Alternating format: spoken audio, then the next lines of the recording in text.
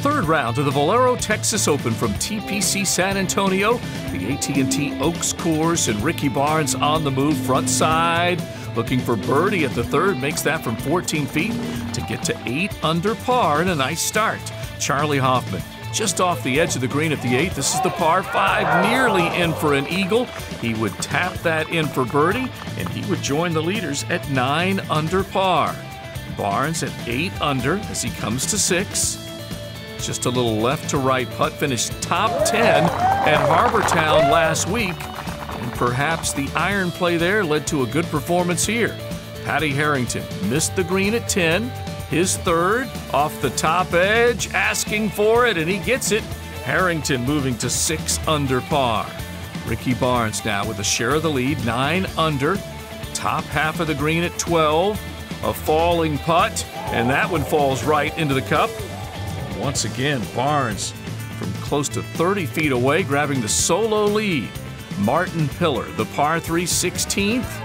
Pin cut high and right. And Martin Piller all over the flag. He would make that birdie to get to 7 under par. Back to Barnes. This at 14. Out of the green side bunker, his third. Very little green to work with, but he makes easy work of it. And a birdie from there at the par 5 to get to 11 under.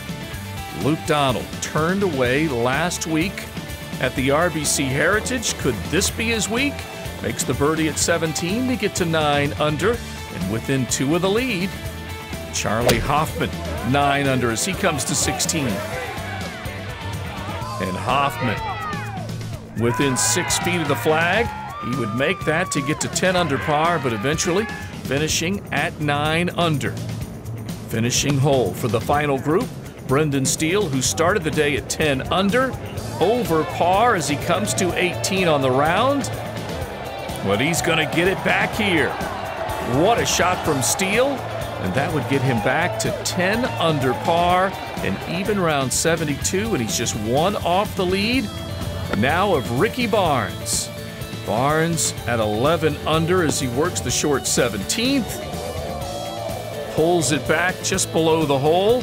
And Ricky Barnes in search of his first PGA Tour title. Even though he drops a shot at the last, he leads by a shot.